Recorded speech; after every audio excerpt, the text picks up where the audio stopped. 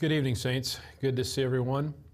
Uh, just as a reminder, so this will be our last Wednesday meeting until January.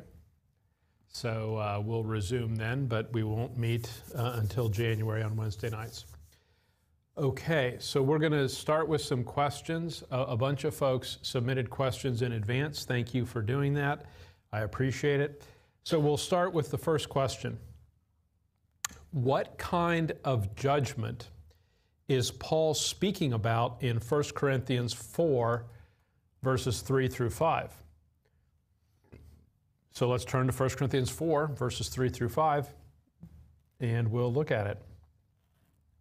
1 Corinthians chapter 4, verse 3. But with me it is a very small thing that I should be judged of you or of man's judgment.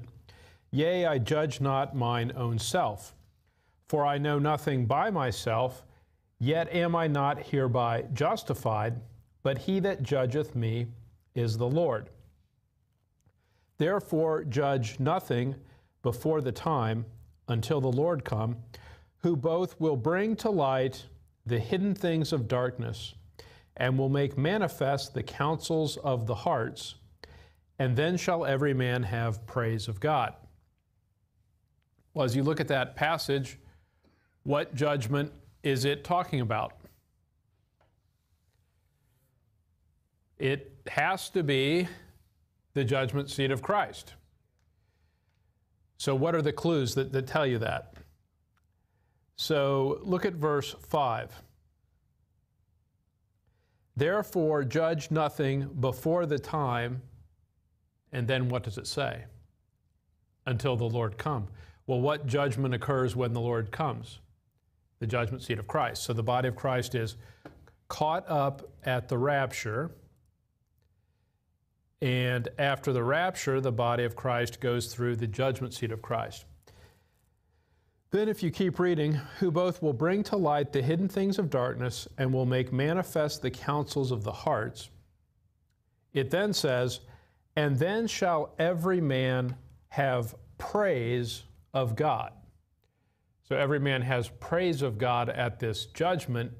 Is that the great white throne? It's not the great white throne.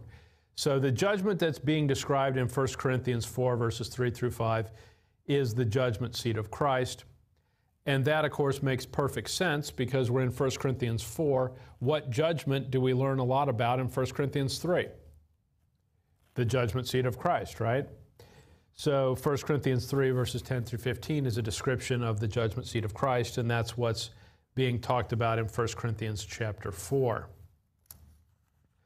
Next question pertains to 1 Corinthians 7, verses 36 and 37. So 1 Corinthians 7, verses 36 and 37. And the question is, is are those verses talking about the father of the virgin that's being described. So look at verse 36.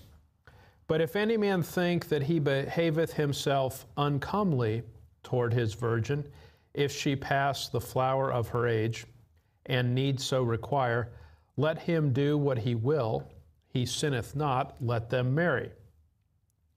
Nevertheless, he that standeth steadfast in his heart, having no necessity, but hath power over his own will, and hath so decreed in his heart that he will keep his virgin, doeth well. So the question is who's the person here that's, that's being referred to? Is it the father of the virgin? So look at verse 38. So he that giveth her in marriage. Well, doesn't that, that I think that tells you the, the answer to it, right? So then he that giveth her in marriage doeth well, but he that giveth her not in marriage doeth better. So the answer to that question is I think it is the indeed the father of the virgin. I think verse 38 confirms that. So moving right along, we'll take the next question. Does the Bible say that prophecy and mystery can or can't exist at the same time?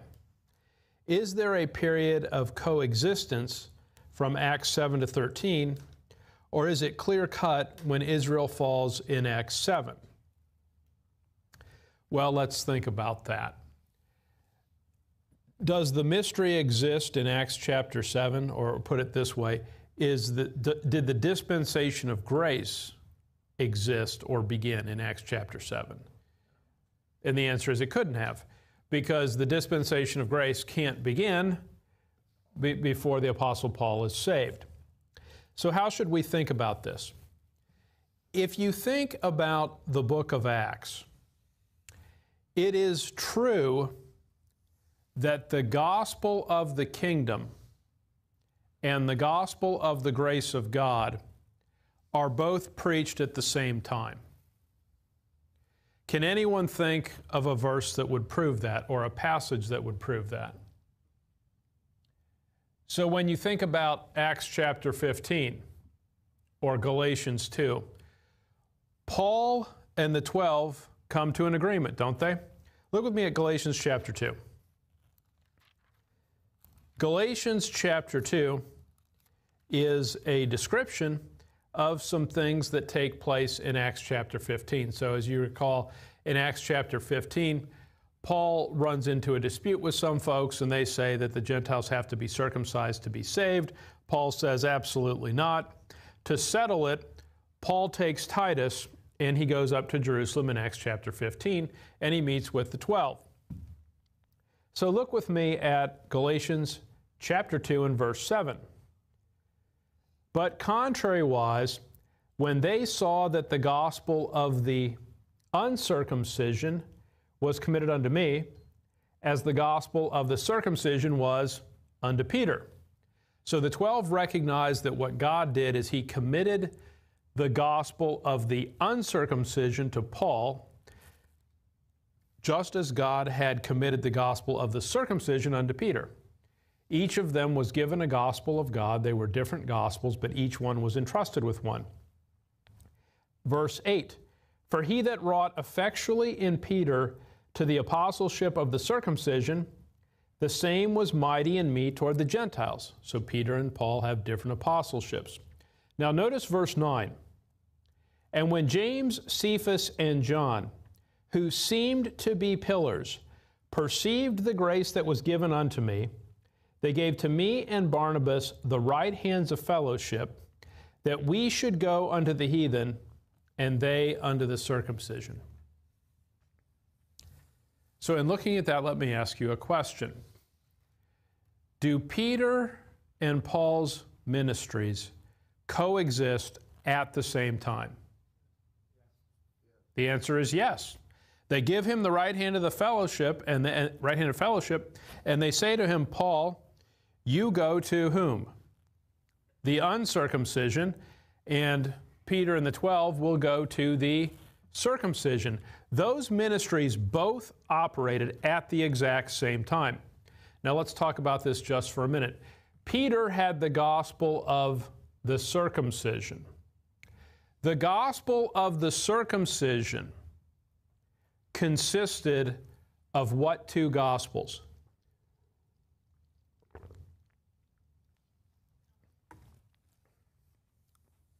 Well, Peter preached the gospel of the kingdom, didn't he? Repent and be baptized for, for the remission of sins. After the cross, Peter also preached the gospel of God that Jesus Christ was proved to be the Son of God by the resurrection from the dead. So when Peter would preach after the cross, he would preach the gospel of God and the gospel of the kingdom. Scripture co- collectively calls that the gospel of the circumcision. Paul preached both the gospel of God and the gospel of Christ. Scripture refers to that as the gospel of the uncircumcision. So during the book of Acts, Peter and Paul's ministries were both in effect at the same time. Whose ministry would last longer? Paul's, right? So when you think about the book of Acts, what do you see?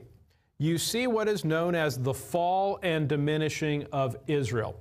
So, what God did in time past is Israel was exalted above Gentiles, Israel had direct access to God. What happens during the Acts period is the fall and diminishing of Israel, and that takes place beginning in Acts chapter 7 with the stoning of Stephen.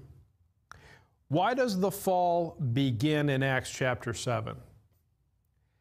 It's Acts chapter 7 when Israel has rejected the third person of the Godhead. In the Old Testament, God the Father sent prophets again and again and again to Israel, and what was Israel's response? Stone them. Then the Father sent the Son, because surely they will regard the Son. What is Israel's response to God the Son? They kill him. What does God do in the early part of the book of Acts. He bestows the gift of the Holy Spirit. In Acts 7, Stephen, speaking by the power of the Holy Spirit, testifies unto Israel. And so what do they do? They stone him. So as of Acts 7, Israel has rejected all three persons of the Godhead. And what should follow in short order is the end times, the 70th week, and so on. So Israel diminishes. And what, what God does as a result of that is he, he concludes Israel in unbelief like Gentiles, Israel in unbelief like Gentiles, so that he can have mercy upon them all during the dispensation of grace. So let me then make, make this point. So Peter and Paul's ministries coexist for a period of time. Peter's ministry is going to cease because God stops putting people into the kingdom church. Anyone that's saved today, 2022, how do they have to be saved? They have to be saved by Paul's gospel, and if they're saved by Paul's gospel, they're placed into the body of Christ, not into the kingdom church. Let me then take up this question Can prophecy be fulfilled during the dispensation of grace? So, what most prophecy teachers do today is they look at current events. They often look at things in the Middle East. They look at you know, current events, they look at governmental things, they look at wars and other things, and they often view those items as the fulfillment of some prophecy in the Old Testament. As one example, the year 1948 is often viewed as a fulfillment of Ezekiel 36. Ezekiel 36 talks about God the Father regathering Israel into the land. So when people look at 1948 and the creation of the modern nation state of Israel, they say, aha, it's the fulfillment of prophecy. However, no prophecy can be fulfilled during the dispensation of grace, and here's why. If we hide the dispensation of grace for a second, the Lord taught during his earthly ministry this generation shall not pass away till all these things be fulfilled. Well, did that generation, in fact, pass away?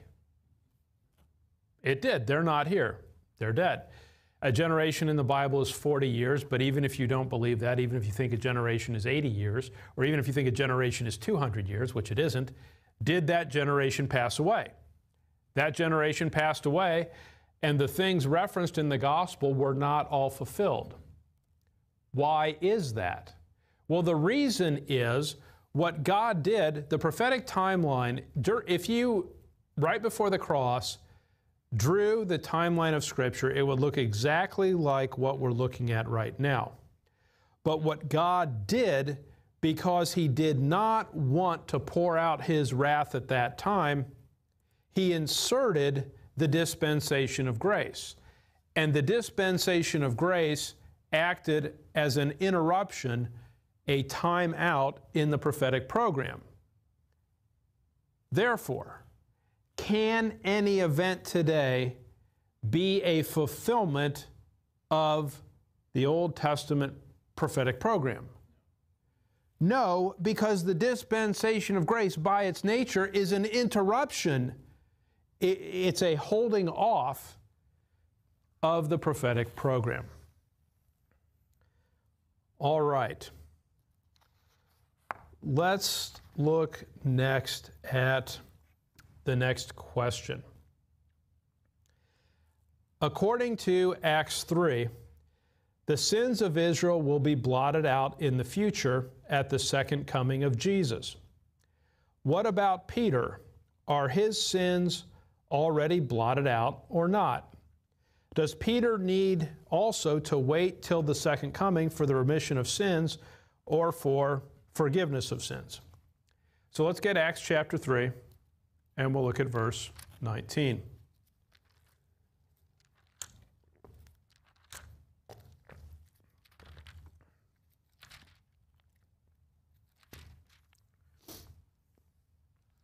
Acts chapter 3, verse 19. Repent ye therefore and be converted, that your sins may be blotted out when the times of refreshing shall come from the presence of the Lord. And he shall send Jesus Christ, which before was preached unto you. Now, the key part of verse 19 that this question is wondering about it says, Repent ye therefore and be converted. Why? That your sins may be blotted out. And then it says, When the times of refreshing shall come from the presence of the Lord. So some will say that Israel did not have forgiveness at that point in time. And what they had to do is they had to wait for the second coming, and that's the point in time at which they would receive forgiveness of sins. Now, I don't personally believe that, and I've sort of, over the years, I've thought different things about this verse, and I'll, here's, I'll tell you here what I currently understand. Verse 19 does describe Israel's sins being blotted out at the second coming. And I understand that to be a fulfillment of the Old Testament Day of Atonement. So here's what I mean by that. As you think about the Old Testament feasts, the Old Testament feasts foreshadow a fulfillment of that feast. So, for example, Acts 2 is the day of Pentecost. Acts 2 is the fulfillment of a Levitical feast called the Feast of Weeks. So, when Leviticus was written and the Feast of Weeks was given, Israel would celebrate that, or at least was supposed to celebrate that, for years and years and years and years. And then it would ultimately find a fulfillment. They were still doing it the whole time, but it would find a fulfillment in Acts 2 when the day of Pentecost occurred. Well, the same thing, Leviticus talks of a day of atonement that Israel had to observe year after year after year. And what it did is it foreshadowed a future day of atonement that is going to take place at the second coming. Get with me, Revelation 13, verse 8. Revelation 13, verse 8. And what we want to do here is we want to notice some things about how God uses language. Revelation 13, verse 8. And all that dwell upon the earth shall worship him whose names are not written in the book of life, notice this, of the Lamb slain from the foundation of the world. Well, who's the Lamb slain from the foundation of the world? It's obviously Jesus Christ. was Jesus Christ slain at the foundation of the world? In other words, when the foundation of the world occurred, was Jesus Christ slain at that moment in time? Well, not really, because we know he's not slain until the cross occurs. So, why does Scripture say he was the lamb slain from the foundation of the world? The answer to that, I believe, is that God knew that Jesus Christ was going to be slain, and he knew that from the foundation of the world. He knew that from eternity past, right? He that was information that he always knew and understood. And so in God's mind, Jesus Christ was the lamb slain from the foundation of the world, even though the actual event would not occur until sometime later. But did God look at it and know of the, of the fact of, of the certainty of its occurrence? He did. So get with me Genesis 15, verse 6. Genesis 15 and verse 6. Genesis 15 is about Abram. Genesis 15, 6. And he believed in the Lord, and he counted it to him for righteousness. So, what God did with Abram, when Abram believed God, God counted his faith for righteousness. Now, think about that just for a minute. Had Jesus Christ already died for Abraham's sins at that point? The answer is no, it was future. But did God have full confidence and knowledge that that sacrifice would occur, that it would pay for Abraham's sins? And so when Abraham had, when Abram had faith in God, what did God do at that moment? He didn't say, Abram, you're going to have to wait. And if there's a sufficient sacrifice for your sins, then I'll count you righteous. He did not say that. What he said was, when Abram had faith, what did God do immediately? He counted it for righteousness because God was fully aware, fully confident, certain of the future sacrifice that Jesus Christ would make, and he therefore counted him righteous at that time. Get with me Leviticus chapter 4.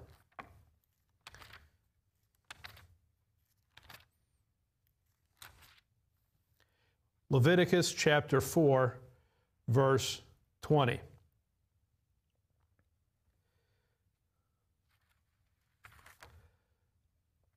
Leviticus chapter 4 and verse 20. And he shall do with the bullock as he did with the bullock for a sin offering. So shall he do with this. And the priest shall make an atonement for them, and it shall be forgiven them. Let's read verse 26. And he shall burn all his fat upon the altar as the fat of the sacrifice of peace offerings.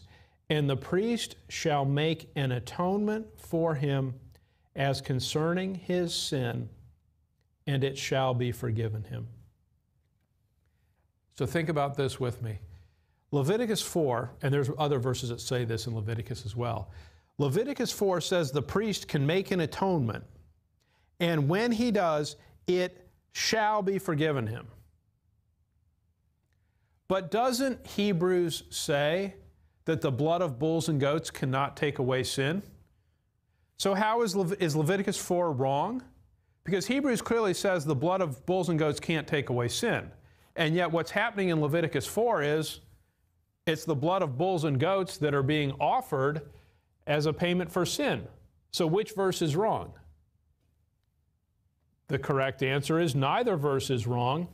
What's happening in Leviticus 4 is that when the priest make those offerings for atonement, and it says, It shall be forgiven, what did God do? He saw the priest and, and, the, and the, the, the person that was offering the sacrifice, he saw them acting in faith. And just like he did with Abram, what did he do? He counted their faith for righteousness. He forgave them because what did he know? He absolutely knew that Jesus Christ was going to subsequently come and make the perfect offering for sin. Get Romans 4, verse 17. Romans chapter 4.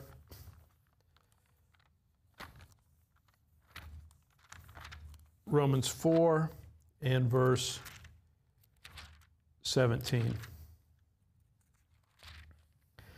Romans 4:17 As it is written I have made thee a father of many nations before him before him whom he believed even God who quickeneth the dead now notice this and calleth those things which be not as though they were can God look at things and know exactly what's going to happen and treat it as having occurred in His mind? He can. He can and He does. If that weren't the case, he, he could never have said to Abraham that, that he could have never have described him as having his faith counted for righteousness. But he did because he knew exactly what was going to happen. So, what does this all mean? So, there is a day of atonement at the second coming that is when it is the fulfillment of the Old Testament Levitical Day of Atonement. So that event has to take place. But does God have to wait for that event to take place before he declares someone forgiven? He doesn't. Here's what we're used to doing in human affairs. In human affairs, you wait for something to actually happen before you say that it will. Because what happens often in human affairs? People don't do what they say, they change their mind, there's some reason it can't happen, and so plans just go astray. God has perfect knowledge of what's going to happen, so he can treat things as having occurred before they occur. We'll go on to the next question. Yes.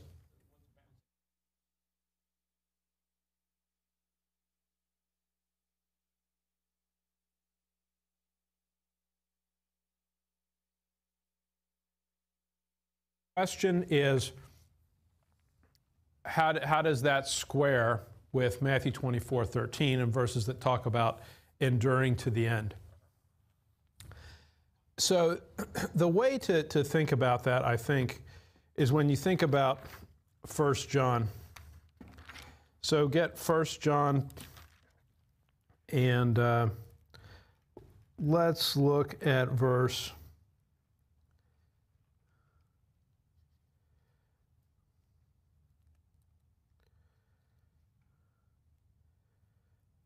Look at 1 John 2, verse 19.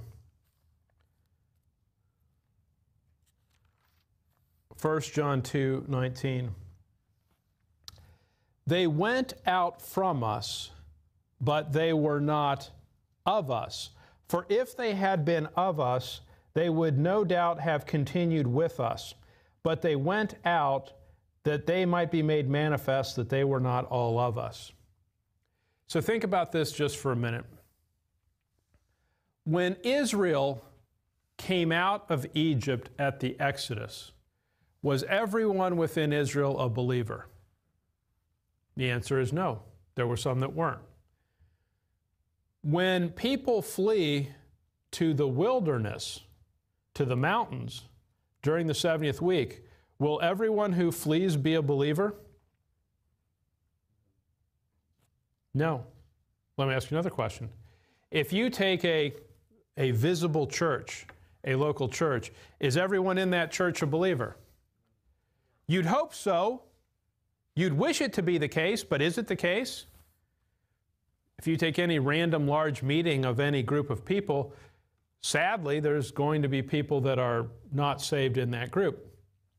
So what 1 John 2:19 tells you is this: the process that happens during the 70th week are there folks that appear to be part of the little flock. They're in the same location, they're co located with them, they're part of the group. But are there some in the group that don't believe? Yes. And they went out from us. Why? Because they were not of us. So let me put it this way.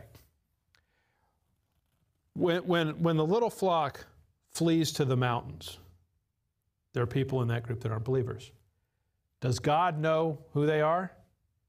Yes. Do the members of the little flock necessarily know who they are?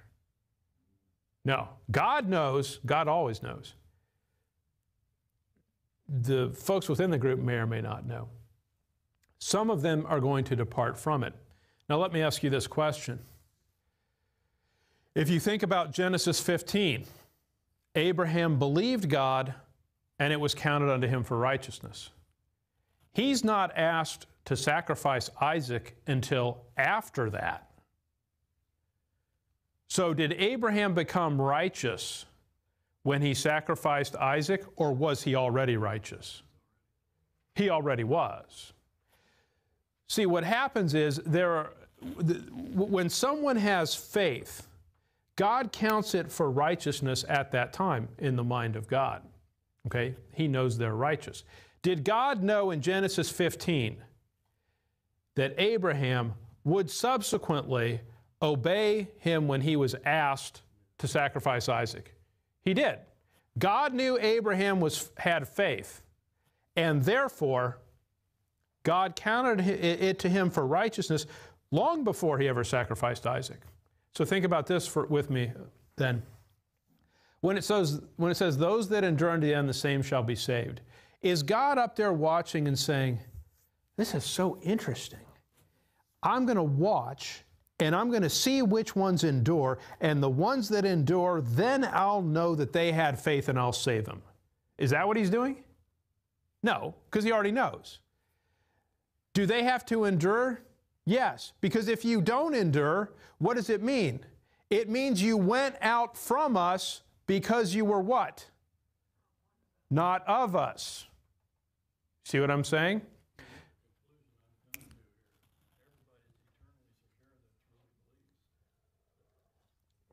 The moment you have faith, God counts it for righteousness. So, what, what happens is under the, if you think of the 70th week, people need to endure because if they don't endure, it means they were never of us. So, let's go to the next question. Get with me. Here, here's the next question Can you please explain what the measure of faith is in Romans 12, verse 3? My Calvinist friends use that verse to say that faith is a gift from God. So let's turn to Romans 12, verse 3, and we're going to consider the issue of is faith a gift from God? So look at Romans 12, verse 3. For I say through the grace given unto me, to every man that is among you, not to think of himself more highly than he ought to think but to think soberly, according as God hath dealt to every man the measure of faith. And so some say, well, God gave you faith and he didn't give other people faith, and so faith is a gift from God. Well, what is Romans 12, verse 3 actually talking about? Is Romans 12, verse 3 talking about people getting saved by faith? Well, let's read verse 4. For as we have many members in one body, and all members have not the same office. So we, being many, are one body in Christ, and every one members one of another. Having then gifts differing according to the grace that is given to us, whether prophecy, let us prophecy according to the proportion of faith See how proportion of faith matches up with measure of faith? Or ministry, let us wait on our ministering, or he that teacheth on teaching, and so on.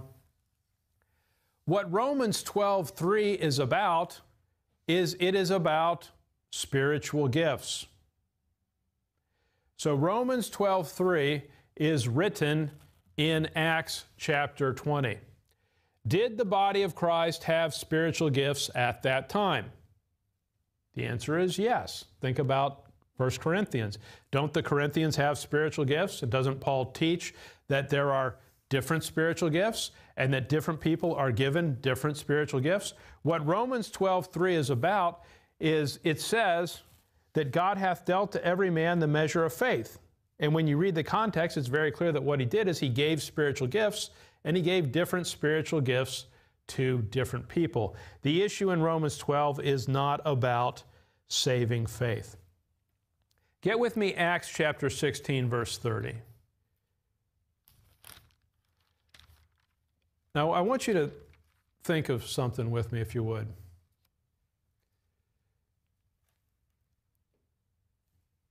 If faith is a gift from God, well, let me just find this verse real quick.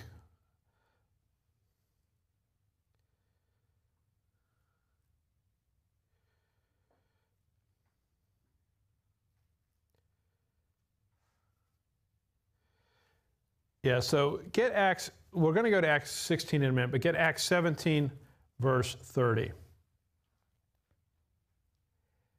And the times of this ignorance God winked at, but now commandeth all men everywhere to repent.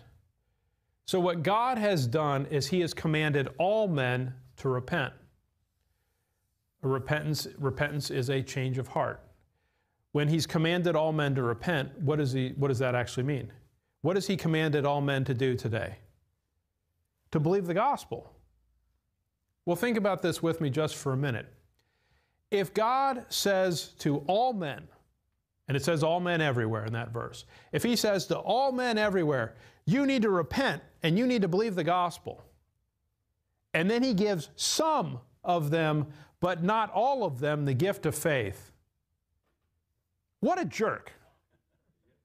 Imagine saying to all of humanity, You all need to believe the gospel, and I'll give you faith and you faith and you faith, but not you and not you. What a terrible thing to do. Look with me at Acts 16. There is no verse that says faith is a gift. That, that's just ridiculous. Look at Acts 16, verse 30. The Philippian jailer says, Sirs, what must I do to be saved? A completely sincere question. He wants to know the answer. Paul says, And they said, Believe on the Lord Jesus Christ, and thou shalt be saved in thy house. So the Philippian jailer says to Paul, Sirs, what must I do to be saved? He, he, is, he is asking because he wants to know. He wants to be saved. And they say to him, Believe on the Lord Jesus Christ and you will be. Imagine telling someone that God hasn't given the gift of faith, just believe and you'll be saved. That is insulting.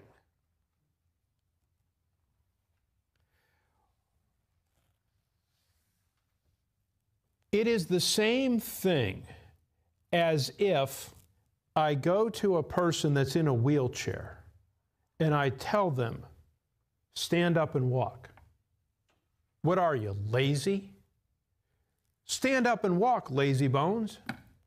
It, it, it's insulting. It's mocking. It is absurd. God is a just God. He is a fair God. He is a loving God. If faith was a gift, by the way, how many people does God want to be saved? He wants all men to be saved. So if faith is a gift from God, who would He give the gift of faith to? Everyone, because He wants everyone to be saved. The fact of the matter is, faith is a choice. You know what determines whether or not you believe the gospel? You do. You decide. You either choose in your inner man to believe the gospel or you don't, but it's not because you have the gift of faith. It's, because, it's, it's a choice of your will whether or not you believe the gospel. Look with me at Revelation 22 17.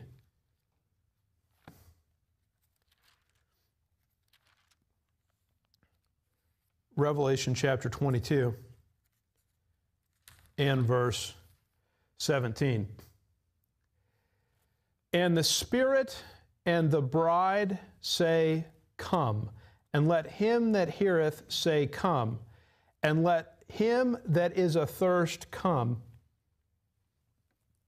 This next sentence is one of my favorite sentences in the entire Bible. And whosoever will, let him take the water of life freely. What a beautiful sentence. You know the way salvation works? God has made the water of life available. How much does it cost? Nothing. It's free. Well, I bet it must be hard to get, right? It must be tricky. And you have to do a whole bunch of things to earn it. No. What does it say? Whosoever will, anyone that wants it, can take the water of life freely. Well, don't tell me that faith is a gift that God has to give you. It doesn't work that way. The way that salvation works is the water of life is available to everyone, and all they have to do is they have to choose to take it. They just have to have the will to take the water of life. That's all it is. That's how salvation works.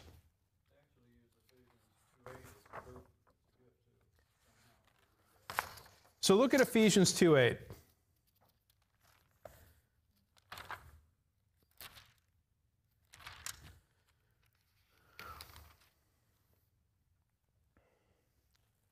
Ephesians 2, chapter 8. For by grace are ye saved through faith, and that not of yourselves. It is the gift of God, not of works, lest any man should boast. And so, yes, some will say, well, the gift of God there is faith. No, the gift of God there is grace. What God has done is if I were hiring you to do a job, to paint a fence, to fix a car, whatever it is, you would have to perform those works to earn the payment. And if you didn't perform those works, then you didn't earn the payment. The whole point of Ephesians 2 8 9 is the way that salvation works, or the way that salvation operates, is it's, what does verse 9 say? It's not of works. Well, if it's not of works, then it must be of a gift. And so, what it's talking about there is salvation. Salvation is a gift. So, next question How does Acts 13:48 relate to election when it says, as many as had been appointed to eternal life believed? So, get Acts 13:48. And we'll, we'll read the verse and then we'll talk about what it means. Acts 13 48. And when the Gentiles heard this, they were glad and glorified the word of the Lord. And as many as were ordained to eternal life believed. So some look at that and they say, well, here's what happened God ordained a and B and C to eternal life, but not D, E, and F. And so only those ones that God ordained to eternal life believed. Now, the way they read that verse, though, is they believe in, a, a Calvinist would, unconditional election. You, but not you, for no reason at all. God picked one and rejected the other. That's not what's going on here. What's going on is God ordained to save those that believe. God desires to save everyone, but He will only save those who believe. Let me show you this. Get 1 Corinthians 1, verse 21.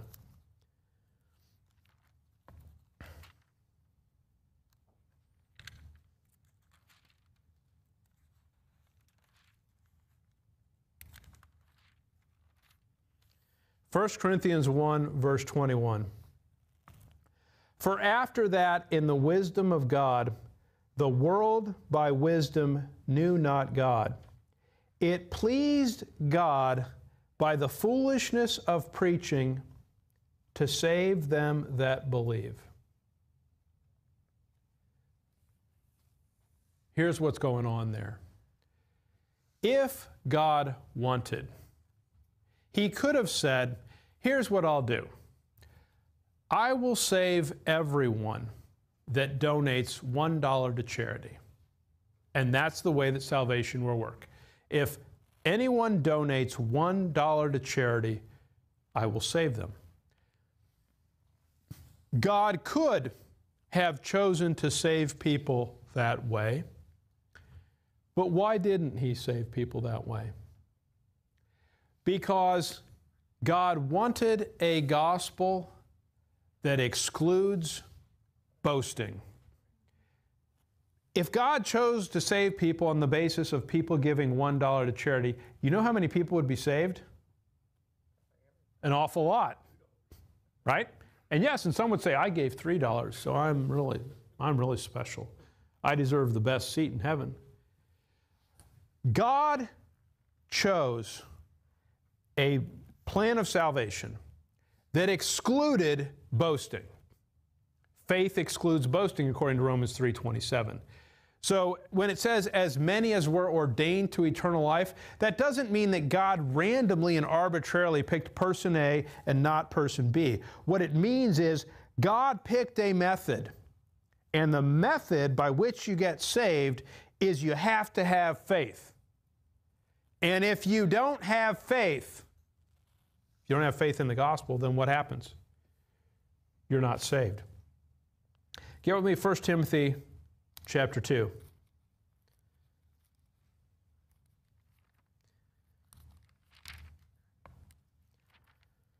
First Timothy chapter 2 and verse 3. 1 Timothy chapter 2 and verse 3. For this is good and acceptable in the sight of God our Savior, who will have all men to be saved and to come under the knowledge of the truth. So God's desire, his desire is for all men to be saved. The way that they get saved is they have to have faith. So, what is the reason that some men aren't saved? Because they've refused to have faith. Look with me at 2 Timothy or 2 Thessalonians 2:14. 2 Thessalonians chapter 2 and verse 14. Whereunto he called you by our gospel. How does God call people to salvation today? Does he show them a sign in heaven and he parts the clouds? Does he speak to people through thunderstorms and natural disasters? He calls people by what method? The gospel, right? So, how many people does God call? Everyone. Titus 2:11 says, "For the grace of God that bringeth salvation hath appeared to all men." So, how many men has God called? All of them, because He called them by the gospel. The problem is, some people don't want to listen. They reject it. Look with me at 1 Corinthians 1, verse 26. 1 Corinthians 1 and 26. For ye see your calling, brethren, how that not many wise men after the flesh, not many mighty, not many noble are called. Some people look at that verse and say, well, God only chose to call a couple here and a couple there. No, he called everyone by the gospel.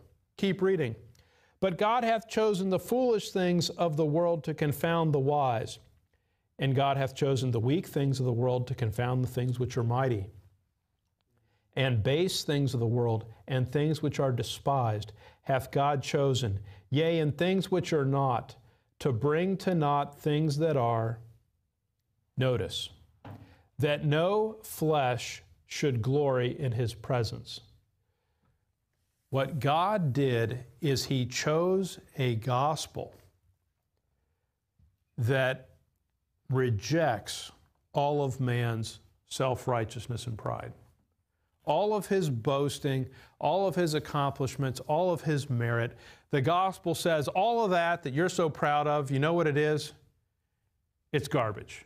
It's nothing, it's zero, it's worse than nothing, it's, you know, it's just completely and utterly worthless. How does man typically react to that? Huh. I'm better than that. You don't understand how great I am. And that self righteousness keeps people from being saved. What's very clear is God has designed the gospel so that it excludes boasting. And what happens, so look at, look, look at verse 26 again. For ye see your calling, brethren, how that not many wise men after the flesh, not many mighty, not many noble are called. You know that can't mean that God only wanted some of the mighty to be saved because he wants all men to be saved. 1 Corinthians, uh, 1 Timothy 2, verses 3 and 4 says exactly that. 2 Peter 3, 9 says exa- exactly that. 1 John 2, 2 sa- says that Christ paid for all the sins of mankind. God wants all men to be saved. What those verses are talking about is what happens to those that are wise and mighty and noble in this life. They reject the gospel. Because verse 29 says, No flesh should glory in his presence. Why does the Lord say to the Pharisees that the publicans and harlots will enter the kingdom of God before you? He says that because they are less likely to glory in their flesh. They're less likely to glory in their own self righteousness. Does a publican know that he's got problems? Yes. Same with the harlot.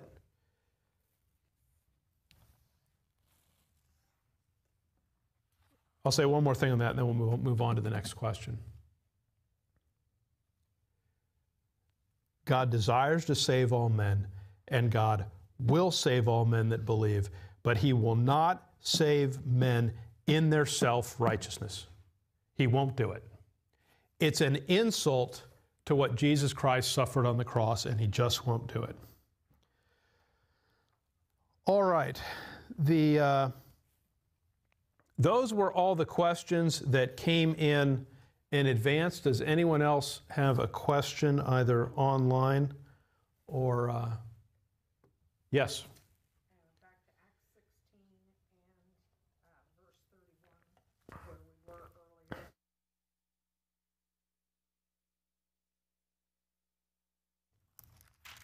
So get Acts chapter 16 verse 30. The question is the phrase, and thy house, in verse 31. Let's just start in verse 30. So the jailer says, Sirs, what must I do to be saved? And they said, the they is Paul and Silas, Believe on the Lord Jesus Christ, and thou shalt be saved, and thy house. The phrase and thy house causes folks some confusion. Some folks will say, well, here's what that means. When the, the male leader of the house believes, therefore everyone in the house is saved. Is that true? I mean, that, that's just, I mean, that's just not real, right? That's just, that doesn't make any sense. Look at verse 32. And they spake unto him the word of the Lord. And then what does it say? And to all that were in his house. So what happens is, what Paul and Silas do is they present the gospel not simply to the Philippian jailer, but to who else? His house as well. And so they get to individually make their decisions And then look at verse 33. And he took them the same hour of the night and washed their stripes and was baptized, he and all his straightway. And when he had brought them into his house, he set meat before them and rejoiced, believing in God. What does it say? With all his house. So what happened is, and this is the way it should be, when Paul went to the house and preached the gospel to the jailer and all those that were in his house, all of them responded appropriately, as well they should right? And they responded by believing the gospel, and then they, they, they got baptized. So that's what that means. It doesn't mean something mystical or, you know, one person gets saved and therefore everyone in their house is automatically saved. It, it obviously doesn't work like that. Good question. Anything else? Okay, we have some online questions.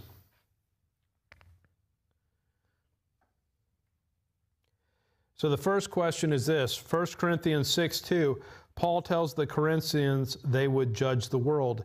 This doesn't seem consistent with them, us having a role in heaven, but on earth. So look with me at 1 Corinthians chapter 6. 1 Corinthians chapter 6. And I think we actually have a video devoted to this subject. But let's just read verse 1. Dare any of you having a matter against another go to law before the unjust and not before the saints? Do ye not know that the saints shall judge the world? And if the world shall be judged by you, are ye unworthy to judge the smallest matters? Now, notice verse 3. Know ye not that we shall judge angels? How much more things pertain that pertain to this life? So, what some folks struggle with is they see the word world there, and they see the world, they see the word world, and they think earth. Earth is one possible meaning of the word world. But if you look it up in a dictionary, it can also mean the universe and it can also mean the heavens. Well, guess what meaning it has in, in that passage for the body of Christ? It specifically talks in verse 3 about judging angels. Angels are described as angels of heaven. So, what's actually going on there, it's talking about the saints judging the world, it's, it's judging the heavens in the next life, is what that's talking about. All right. Next question. 1 Timothy 3, 3, 3, Is Paul saying that the church is the pillar of truth, as many say, or is he saying that the living God is the pillar of, of truth? Look with me at um, 1 Timothy chapter 3,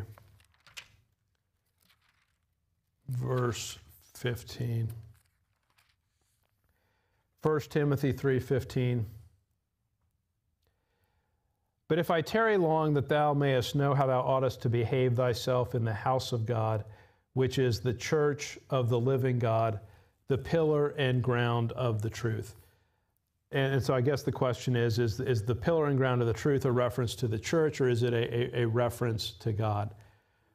Um, the thing I, I would, the thing that I think is most helpful in thinking about that question is that Paul has a series of similitudes that he uses. And he talks about people being cast away, shipwreck, tossed to and fro, carried about with every wind of doctrine. And, and all of those terms are nautical terms that talk about being at sea and being tossed to and to and fro by storms and waves and wind and so on. That's a contrast with Paul talking about being rooted, grounded, the pillar and ground of the truth, established. And so the idea is you have to be established in the faith. And, and you do that, you don't want to be you don't want to operate according to the world system because how is Satan described in Ephesians 2 2? He's called the prince of the power of the what? Of the air. And when you compare that with the other nautical metaphors, what it does is it describes people in the world system as being at sea. And if you're a ship at sea at that time, what are you subject to? The wind, right? Blown about with every wind of doctrine. So if you're not, the point being, if, you're not established in the faith, what happens is you're under the sway, the influence of the prince of the power of the air, and you're just like a little ship that's blown to and fro on the waters. What you need to be is rooted and grounded in the faith. So that, that's, the, you know, that, that's the basic stuff that is going on there. Um, I, I do think that what happens is this is my own personal opinion, you can decide for yourself. People do not adequately value the local church. And what they do is they will say, Well, I'm just as close to God in a canoe out on the water as I am in any church, right? When I'm out with nature, I'm closer to God than I am in any building. And it's this sort of experiential nature experience, and so they don't need to be in a church. You, you, you, you make decisions for your own spiritual life, but consider this. We are supposed to renew our minds. Our minds are renewed in knowledge, not in sentiment, not in experience. They're renewed in knowledge, meaning that if you're going to be a mature saint, what you have to do is you have to renew your mind in Bible doctrine. And if you fail to do that, you will walk according to the course of this world. Now, here's what happens. You all know this, I, take it. Add up during the week how much time the average person spends in church, Sunday school, personal Bible study, and so on. Put that in column A. And column B is YouTube, Netflix, TV, newspapers, news programs. Now, that's column B. Now, which of those columns do you think is bigger for about 99% of the population? Well, that, that's why the church is so worldly. Because the church's thinking is not influenced by this book, it's influenced by the prince of the power of the air. If what I do is I eat this stalk of celery, and it's so good for me, and then I eat 27 bags of Doritos, well, it's nice that I ate this stalk of celery, but my proportion is all wrong, right? If you eat 27 bags of Doritos and one piece of celery, what's going to predominate in your life? You understand the point. Okay, next question.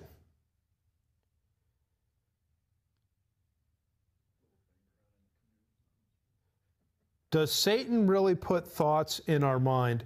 If no, where do the unbidden wrong thoughts that pop into a saved person's mind come from, and what is the best way to deal with them? Ignore them. Get with me 2 Corinthians chapter 10. Now, the first thing I'll tell you is Satan can't read your mind. He just can't. God the Father can read your mind, but Satan can't read your mind. He doesn't know what you're thinking. Now, he might be able to infer what you're thinking. So, for example, if you walk past a store and you throw a rock through the window, he might think that you're intending to commit a crime. You know, I mean, there's some things that, you know, are sort of self evident. But can Satan read your mind? No, he can't read your mind. Look with me at 2 Corinthians 10, verse 3. For though we walk in the flesh, we do not war after the flesh. In the scripture, there is a big difference between being in the flesh and after the flesh. Now, what's being said here is do you reside in a body of flesh? And the answer is yes. But do you think about things after the flesh? That's a choice. So look with me at verse 4. For the weapons of our warfare are not carnal, but mighty through God to the pulling down of strongholds. Casting down, notice what it says here, imaginations, and every high thing that exalteth itself against the knowledge of God, and bringing into captivity every thought to the obedience of Christ. It says they're casting down imaginations. What does Genesis say about man's imagination? Look at me at Genesis 8, verse 21.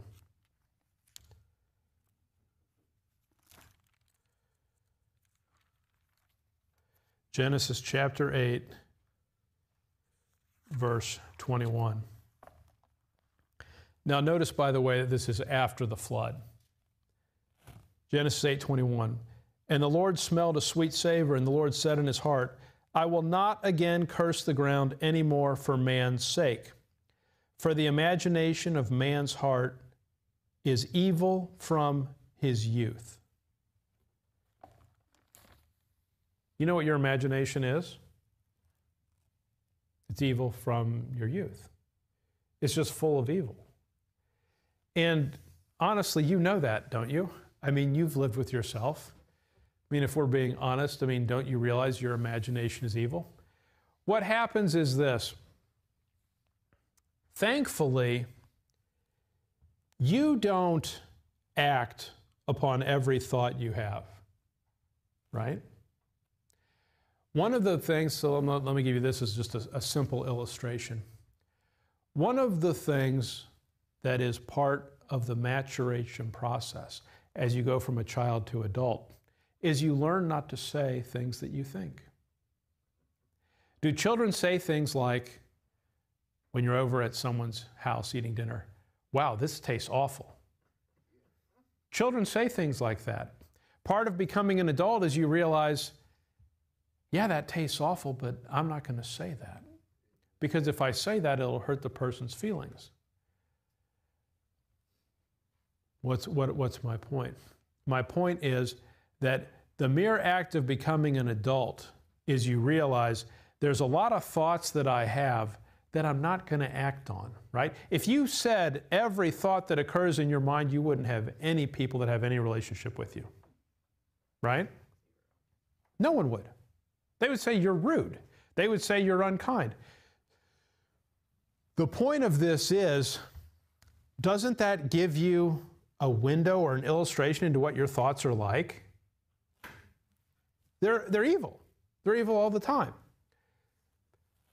Thankfully, we don't act on all of them. Now, what does this mean for our spiritual life? Here's what this means. As a saved person, I'm eternally saved, can't lose it. But do I get to choose how I spend my moments? Yes. And I do get to choose where I focus my attention. So when these thoughts come into my mind, and they, they, the imagination of the thoughts of man's heart was only evil continually. It's not Satan, that's our heart, right? That's our sin nature. I have to choose whether I walk in that or not. Look with me at Romans 8.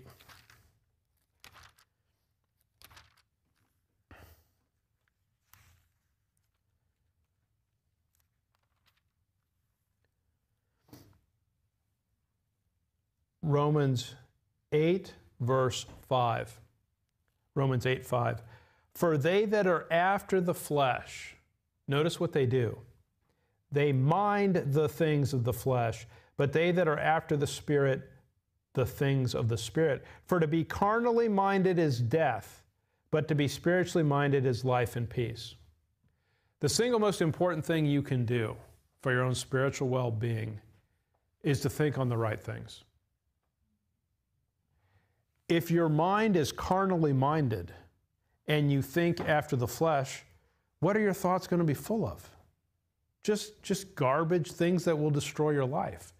But if you mind the things of the Spirit, you think after the Spirit, your life will be immensely better. Look with me at Philippians 4. Philippians 4, verse 8. Philippians chapter 4 and verse 8. Finally, brethren, whatsoever things are true, whatsoever things are honest, whatsoever things are just, whatsoever things are pure, whatsoever things are lovely, whatsoever things are of good report, if there be any virtue, and if there be any praise, think on these things. The idea there is we need to control our, our thought life. 2 Corinthians 10 talked about casting down imaginations. So that, that's what we need to do to control our thought life. It's, um, one thing to consider Satan is evil, wicked, opposes the body of Christ, hates the body of Christ, does all sorts of horrible things. So, no, no question about that. And he has a warfare against the body of Christ that involves doctrines of devils. 1 Timothy 4 tells you that. I guess my comment would be you can blame Satan for the thoughts in your mind but guess where they came from? Let me put it this way the voice in your head, who do you think that is? It's you. Right? It's you. Those thoughts come from your sin nature, is what they do. And the person that is responsible for controlling it is you. It just is. And so we need to we need to think on the right things is what we need to do. So hopefully that helps. Any other questions anyone has? All right. Well, thank you for the, the questions. As a reminder, we won't meet uh, on Wednesday until the, the, the first week of January, so we look forward to meeting with you again then. Let's go ahead and uh, we'll close in a word of prayer. Father God, we thank you for your word. We thank you that it is, is true and it's been preserved, it's without error, and it, it is a, it's a safe and reliable authority. We thank you for that. Help us to be growing in knowledge. Help us to be studying and learning and growing. Help us to be more established in the faith. We rejoice in what you've done for us in the gospel. We rejoice in what Jesus Christ has done, and we give him all the glory. It's in the name of the Lord Jesus Christ we pray. Amen. Amen, saints.